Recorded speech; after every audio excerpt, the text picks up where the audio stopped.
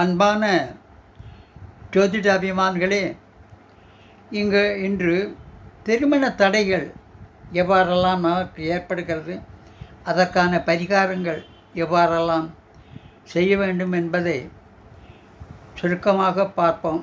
பொதுவாக இது நீண்ட செய்திகளை உள்ளடக்கியது. இருந்தாலும் நீங்கள் சில அடிப்படை உண்மைகளை தெரிந்த பிறகுதான் இதற்கான பரிகாரங்களை சொல்ல வேண்டும். இதை பாருங்கள் இதுதான் உங்களுடைய ஜாதகம் என்பது. இதில் மேசம் ரிஷபம் மிதுனம் கடகம் என்ற பன்னிரண்டு ராசிகளுக்கும் பன்னிரண்டு சொந்த வீடு உண்டு. அதில் அததை இருந்து கொண்டால்தான் உங்களுக்கு சுவிச்சமான வாழ்க்கை ஏற்படும். அதாவது இதில் கிரகநாதர்கள் சீராக அமைந்தால் திருமணம் வேலைவாய்ப்பு வருமானம் குழந்தை சுபிச்சம் ஓய்வு காலம் அத்தனையும் இந்த அற்புதங்களை இந்த ஜாதகம்தான் உங்களுக்கு வழிகாட்டும். ஆகவே இதை நன்றாக உற்று பாருங்கள். மனதில் படிய அடுத்ததாக இதுதான் ஜாதகத்தினுடைய கிரக வீடுகள். இது செவ்வாயின் வீடு சுக்கிர வீடு புதன் சந்திரன் சூரியன் புதன் சுக்கிரன் செவ்வாய் குரு சனி இப்படியாக உங்கள் ஜாதகத்தை பாருங்கள். அதில் மேஷம் விருச்சகம் செவ்வாய்.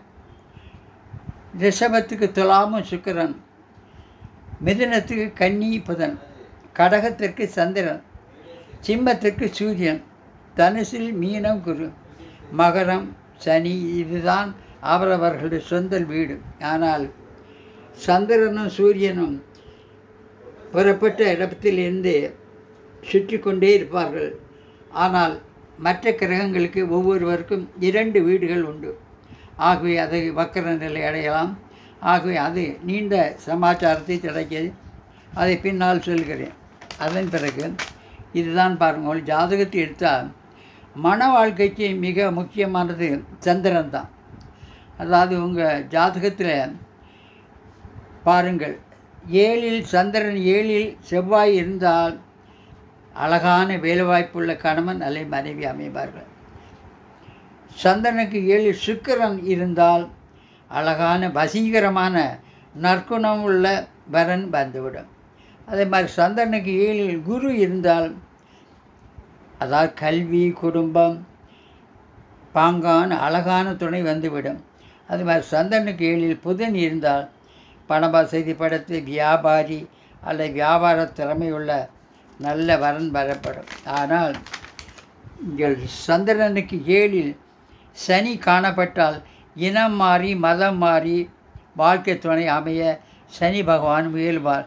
நீங்கள் உஷாராக நடத்தல் வேண்டும். சந்திரனுக்கு கூடவே சனி ஜாதகத்தில் இணைந்து காணப்பட்டாலும் கூட காதல் திருமணம் வரும் வாய்ப்புகள் அதிகம். அதுபோல் சந்திரனுக்கு ஏழில் ராகு காணப்பட்டால் மருத்துவத்துறை மெடிக்கல் சார்ந்த துணை வரப்படும். அப்போ சந்திரனுக்கு ஏழில் கேது இருந்தால் படித்த நற்குணம் படித்த ஞானவான் அமையலாம். பிற மதத்தை சார்ந்த திருமணம் கூட சிலருக்கு ஏறா ஏற்படலாம். ஆகவே ஜாதகத்தை பார்த்து பரிசீலிங்க. எப்படிப்பட்ட கணவன் வருவான் என்பது தெரியும். அதன் பிறகு இதுதான் ஜாதகத்தினுடைய லக்கணத்திற்கு நேரில் சுக்கரன் இருந்தாலோ சந்தனுக்கு நேர சனி இருந்தாலோ இதுதான் உங்களுடைய அடிப்படை இது லக்னத்திற்கு ஏழாம் இடம். சந்திரனுக்கு ஏழாம் இடம் கிரகங்கள் நாதர் இல்லாவிட்டால் திருமணம் காலதாமதாகும். ஆகவே உங்களுடைய ஜாதகத்தில் பாருங்கள் எந்த கிரகம் எங்கே இருக்கிறது? அதன் பிறகு பரிகாரம் இதுதான். அப்போது பரிகாரம் என்றால் நம்முடைய ஜாதகம் என்பது நாம செய்த பாபம் அல்ல மூதாதையர்களில் பாட்டன் பாட்டன் என்றாவது சா தப்பு செய்திருந்தால் கூட அவை நம்ம ஜாதகத்தில் தான் வந்து உட்காரும். ஆகவே அரசமர வேரில் பால் சர்க்கரை கலந்து ஊற்றி அந்த மண்ணை கிளறி எடுத்து வந்து உங்கள் தாயார் இதை போல் திலகம் வைத்து கொண்டால் கூட உங்கள் பூர்வீகத்தில் இருந்த பாவங்கள் அத்தனையும் சீராகும். ஏனென்றால் பெற்றதாயின் கருப்பிலிருந்து வந்ததால் அந்த தோஷம் நம்மை விட்டு பகல வேண்டும். அதன் பிறகு எட்டில் செவ்வாய் இருந்தால் நீங்கள் விதவைகளுக்கு புடவை தானம் செய்ய வேண்டும். எட்டில் கேது இருந்தால் ஒன்பது வயதிற்கு மேற்பட்ட வயதுக்கு வராத பெண் குழந்தைக்கு தானம் செய்தல் வேண்டும்.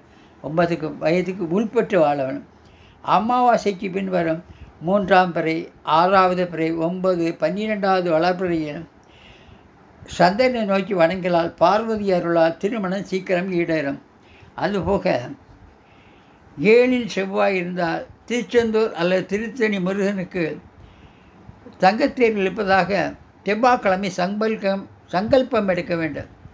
ஒரு டம்ளர் தேனை கலந்து பருகி செவ்வாய்க்கிழமை சூரிய உதயத்திற்கு பின் அஞ்சு ரூபாயை சிவப்பு துணியில் மடங்கி ஆண்டவா எனக்கு திருமணம் ஆனதும் நான் திருச்செந்தூர் அல்லது திருத்தணியில் தங்கத்தேர் இழுக்கிறேன் என்று ஒரு சங்கல்பம் எடுத்துக்கொண்டு திருமணம் அடைந்த பின் அங்கு சென்று இது செய்ய வேண்டும்?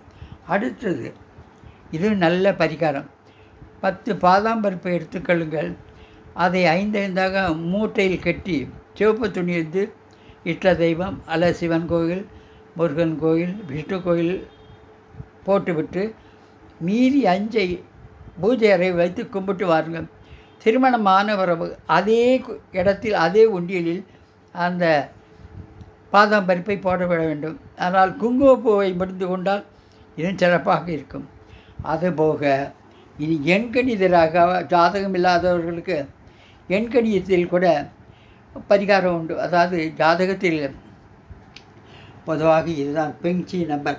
இந்த ஒன்பது கட்டத்தில் எந்தெந்த எண்கள் எங்கே இருக்க வேண்டுமே எழுதியிருக்கிறது பொதுவாக ஒன்று எட்டு ரெண்டாயிரத்தி இருபத்தி மூணில் ஒரு குழந்தை பிறந்தால் அவன் ஜா அவனுடைய டேட் ஆஃப் ஒன்று ரெண்டு மூணு எட்டு இருக்கும். ஆகிய மீதி எண்களான நாலு அஞ்சு ஆறு ஏழு ஒன்பது இருப்பதில் அவர்கள் அணிய வேண்டிய மோதிரம் இவ்வாறு. இதைப்போல் ஒரு மோதிரம் அணிந்து கொண்டால் சீக்கிரத்தில் சுக்கரன் எல்லா எண்களும் வலிமை பெற்று தீக்கரம் திருமணம் ஈரேடும். ஆகிய இது நீங்கள் பரிகாரம் செய்யலாம். தகவல்களுக்கு nine three eight zero one seven three four six four என்ற எண்களுக்கு தொடர்பு கொள்ளலாம். நன்றி வணக்கம்.